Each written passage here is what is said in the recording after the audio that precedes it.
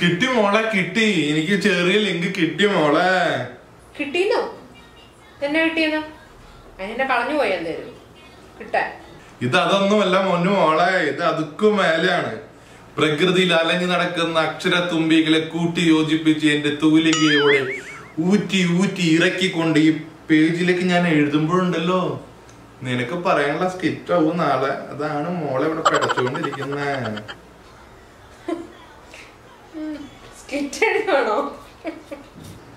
എന്താ നിനക്ക് എന്റെ സ്കിറ്റിനോട് പുച്ഛം. ഞാൻ എഴുതിയ സ്കിറ്റ് നിനക്ക് ഇഷ്ടാവൂല. അല്ലെങ്കിൽ എങ്ങനെ കലാകൃതി ഇന്നേ ആരും കണ്ടിട്ടില്ല. ഞാനല്ലാതെ. വേറൊരാൾക്ക് അത് കാണാനും താല്പര്യമില്ല. പറഞ്ഞിട്ട് കാര്യമില്ല. ഇവിടെ ആർക്കതിന് കലാബോധത്തെ കുറിച്ച് വലിയ ധാരണയൊന്നും ഇല്ലല്ലോ. എന്റെ പൊന്നോ നമിച്ചു. എന്നെ ഒന്ന് കൊന്നു തരുമോ എന്റെ കലാഹൃദയമേ ഇപ്പൊ നിങ്ങൾക്ക് ഉപ്പുമാവ് വേണോ? സ്കിറ്റ് വേണോ? ഇപ്പം പറഞ്ഞോ.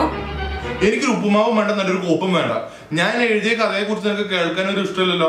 ആദ്യം നീ എന്റെ കഥയെ കേൾക്കുക എന്നിട്ട് നീ അതിനെ കുറിച്ച് വിമർശിക്കും. എന്നിട്ട് നമുക്ക് ഉപ്പുമാവും ഉപ്പുമാവും ഒക്കെ കഴിക്കുന്ന കാര്യം ആലോചിക്കാം. കേൾക്കാനൊന്നും എനിക്കറിയാം. നല്ല പദമായി ഉറപ്പല്ലേ? വളരെ സിമ്പിൾ ആയിട്ടുള്ള സ്കിറ്റ് ആടി. തൊട്ടപ്പുറത്തെ വീട്ടിൽ ഒരു അയൽക്കാരൻ വന്നിട്ടുണ്ട്. അപ്പൊ ആ അയൽക്കാരൻ വന്നതിനെ കുറിച്ച് നീ എന്റെ അടുത്ത് വന്ന് പറയാണ്. ഇച്ചയ്യ അപ്പുറത്തെ വീട്ടിലെ അയൽക്കാരൻ ഡെയിലി ഡ്യൂട്ടിക്ക് പോകുമ്പോ ആ ചേച്ചിക്ക് ഉമ്മ കൊടുത്തിട്ടാണ് പോവുക എന്നാണ് നീ വന്നു എന്റെ അടുത്ത് വന്ന് പറയണ്ടത് നിന്റെ ഭാഗം അതാണ് കേട്ടോ ഇതാര് പറയണം? ഞാൻ പറയണം. നീയല്ല പറയണ്ടത് നിന്റെ ഭാഗമല്ല ആദ്യത്തെ ഭാഗം ഞാൻ പറഞ്ഞത്. ആ അത് നീ പറയണം. അപ്പൊ ഇതിന് ഞാൻ തിരിച്ച് നിന്റെ അടുത്ത് പറയുന്ന മറുപടിയാണ് ഇതിന്റെ ഹൈലൈറ്റ് അപ്പൊ ഞാൻ പറയണത് എന്റെ അടുത്ത്. അപ്പൊ ഞാൻ ഡെയിലി ഡ്യൂട്ടിക്ക് പോകുമ്പോ ആ വീട്ടിലെ ചേച്ചിക്ക് ഉമ്മ കൊടുത്തിട്ട് പോകാം എന്നതാണ് ഇതിന്റെ സ്കിറ്റും ഇതിന്റെ ഹൈലൈറ്റും എങ്ങനെയുണ്ട്? നല്ല സ്കിറ്റ് അടിപൊളിയായിട്ടുണ്ട് കേട്ടോ. ഇത് ഞാൻ നേഴ്സിംഗിനെങ്ങാനും പഠിക്കുമ്പോ സർദാർജി പദ്ധതി വായിച്ചിട്ടുണ്ട്. എന്റെ ദൈവമേ. ഞാൻ എവിടെ പരിപാടി അവതരിപ്പിച്ചാലും ഇത് തന്നെയാണല്ലോ അവസ്ഥ. കിട്ടി മോളെ കിട്ടി. ഞാൻ പറയണ്ട ആ ടൂണി പറ.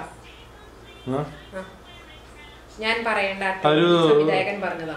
സംഭവവും എങ്ങനെയാണ് എക്സ്പ്രഷൻ പറ. വലിയ സംവിധായകൻ. നീ അത് നീ ആ ഡയലോഗ് പറ. പറ പറ. പറ എന്റെ ഡയലോഗ് പറ ഇത് കിട്ടി കിട്ടി.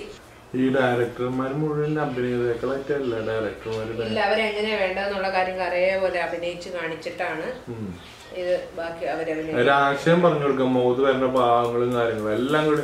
എല്ലാവർക്കും ഡയറക്ടർമാർക്കൊന്നും അഭിനയിച്ച പോലെ എല്ലാവരുടെയും അയാളും അയാൾ മരം ചെയ്യുമോ നമ്മുടെ നായകനും ഡയറക്ടറെ ഡയറക്ടർ ആയ പോലെ നീ വന്നിട്ട് എന്റെ അടുത്ത് പറയണം.